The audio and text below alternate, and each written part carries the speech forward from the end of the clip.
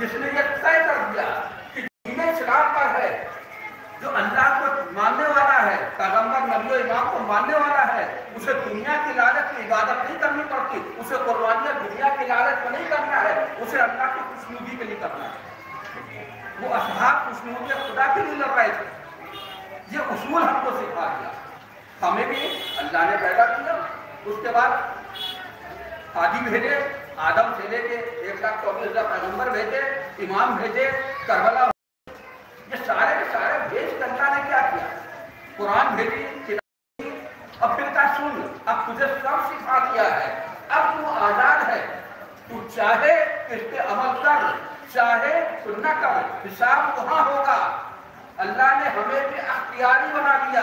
तुम्हारे अख्तियार में है, जैसे करबला के साहब ने अख्तियार में था, वैसे तुम्हारे अख्तियार में। तुम चाहो तो कुरान के बताए तो चलो, और चाहो तो न चलो।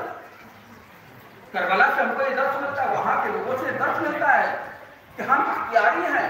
हमारे, हमने कह दिया अल्लाह होकर नमाज़ नहीं पढ़ेंगे तो कौन मारने जा रहे हैं आपको? अभी तो ना तो अलावा है, कुछ नहीं हो रहा है। अच्छा हमने कह दिया अल्लाह होकर नमाज़ खूब पढ़ेंगे अदादारी नहीं करेंगे अरे कौन रोकने करेंगे अदादारी नहीं करेंगे, लेकिन बाहर जाके गुनाह करेंगे, भाई का माल मार देंगे। कहाँ कोई रोकने जा रहा है? कोई अख्तियारी है यहाँ? मुकम्मल मुकम्मल दीन पे चाहे तो अमल कर ले और ना करें, चाहे तो ना करें ये मुख्तसर एक छोटा सा वाक्य सुना खत्म करता हूँ। रसूल खुदा वसल्लम का वक्त था, उनका दौर था। एक शख्स ने साफ़ देखा कि आसमान से रेशमी कपड़ा लटक रहा उस जमाने में रेशम सबसे कीमती चीज़ कही जाती है और रेशमी कपड़ा जो लटक रहा है, उसका जो मालिक है कह रहा है, जिसको चाहिए ले जाओ, मुकम्मल ले जाओ। इतना कीमती कपड़ा मुकम्मल ले जाओ। लोग आते हैं, कोई इस कोने से काट के ले जाता है, कोई उस कोने से काट के ले जाता है, कोई इधर से जिसको जहाँ से पसंद आता है, वहाँ पे ले जाता है। वो शख्स बड़ा ताजुब में कि अगर रेशम का कपड़ा इतना लगता हो और वह मुकम्मल ले जाओ तो लोग ले क्यों नहीं जा रहे वो रसूल जाने के उसने कहा ये हमने ख्वाब देखा है। समझ में नहीं आया?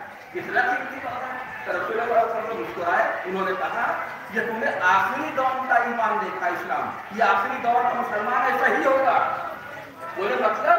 बोले, ये कि जो रेशमी कपड़ा है, ये अल्लाह का दीन है। ये कुरान है। अल्लाह कह रहा ले लो मुकम्मल दीन। जिसको चाहिए मुकम्मल ले लो। हम आते हैं, हम अपनी पसंद का लेके जाते हैं। किसी को रोजा पसंद है तो नमाज़ नहीं पसंद है, नमाज़ पढ़, पसंद है तो अदादारी नहीं पसंद है अदादारी पसंद है तो बाहर चोरी चटाई पसंद है। हमें जो पसंद आता है वो ले लेते हैं जो ना पसंद आता नहीं लेते।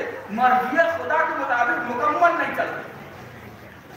ये आखिरी दौर का इस्लाम है, और ये मोमिन है आखिरी दौर का, जो इस तरह से बर्ताव करता है।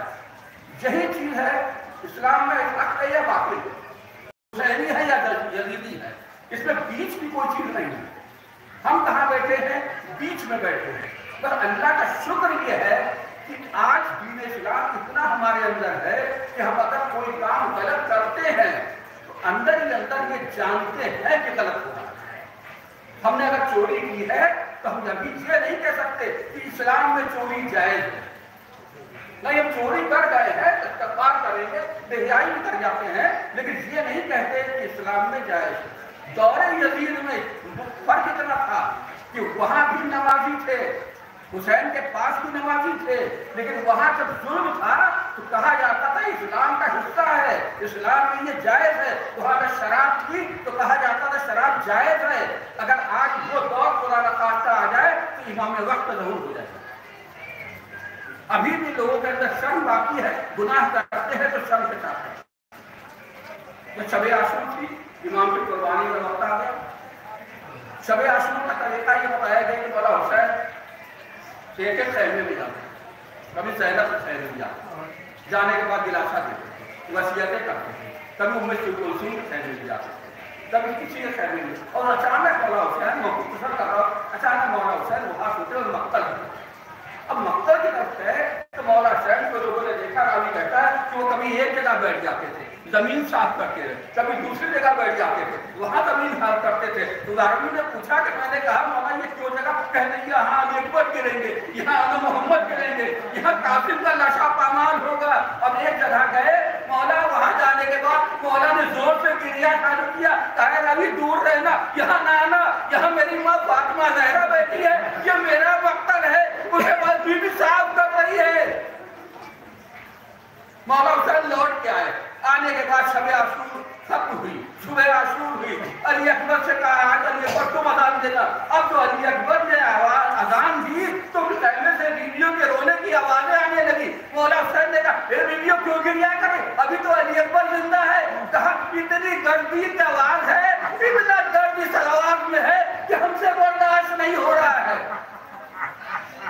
उसके बाद से अगर गिरिया करने की समय गिरिया कीजिए मौला हुसैन एक एक करके शहीद होते रहे कभी ओनो मोहम्मद गए कभी हबीब मजाहिर गए कभी कासिम गए कभी अली अकबर गए एक बार कहा जब मेरा मौला तनहा रह गया तनहा रह गया इधर देखा उधर देखा कोई न थे चले सैयद सज्जाद के खैमे में खैमे में गए बीबी जैनब ने कहा ए सैयद सज्जाद जरा उठो देखो तुम्हारा बाबा आया है सैयद सज्जाद ने आँख खोली देखा खूब आलूदा कुर्ता पहने कमर झुकी एक शहीद इंसान का अरे बाबा ये क्या हाल हुआ आपका अरे अब्बास कहाँ गए कहाँ कत्ल हो गए कहा अली अकबर कहाँ गए कहाँ कत्ल हो गए मौला हुसैन ने कहा ए सैयद सज्जाद अब ज़्यादा कहाँ बताओ बस ये समझ लो मेरे अब तुम्हारे अलावा कोई ना बचा सैयदा सज्जाद को गुस्सा आया उन्होंने कहा दीदी जैनब से खुदी अम्मा लाइए मेरी तलवार ये मुझे जेब नहीं देता कि मेरा बाप जहीब जंग करने जाए और जवान बेटा बैठा रहे सैयद सज्जाद मौला हुसैन करो अरे तुम्हें अभी तो वो जिहाद करना है जो मेरा जिहाद से सख्त होगा। अरे तुम्हारे हाथों में हथकड़ियाँ बनेगी बेड़ियाँ पड़ेंगी जैनब के हृदय होगी तमाचे मारे जाएँगे नजे पे सर होंगे।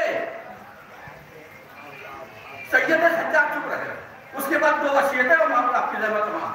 मौला हुसैन ने उसके बाद सैयद सज्जा मेरे कुछ वसीयतें तो मेरे सीओ को पहुँचा दिया।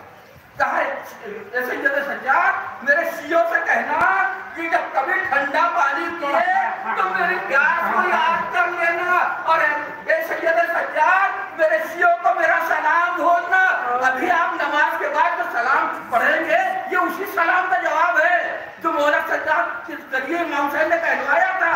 कहा, मेरे सीओ को मेरा सलाम देना और कहना, अगर तुम होते तो देखते मैं कैसे चश्माए अली असगर को लेके पानी पिलाने के लिए गया।